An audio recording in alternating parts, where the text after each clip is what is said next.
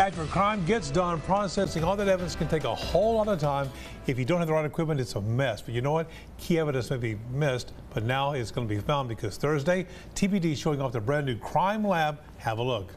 This new crime scene facility is a huge upgrade to what they had before. For years, the Tyler Police Department crime scene investigators have worked out of a room the size of a closet. Just having the room to move around and do what we needed to do to complete our cases is amazing. Now the team of four is able to work on several cases at the same time.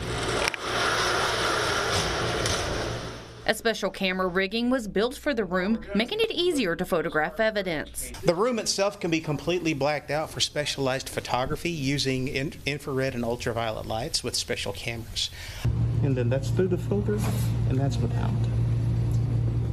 The department also added a garage to help with the testing and processing of vehicles.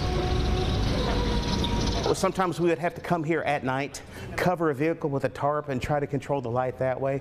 It, it was very difficult to do so. With a larger facility and higher quality equipment, can now reduce the time that it takes to possibly break the case. It's a quantum leap in capabilities. It's having the equipment to do it better and faster. It's just a wonderful thing for the city and for the police department. The Tyler Police Department says the new crime scene lab wouldn't have been possible without the people of Tyler and the city. Tori Bean, KETK News. This note, Sergeant Ratcliffe also tells us not all departments have the resources for something like this. So if any of the police department needs help processing evidence, they will help you with their new crime lab.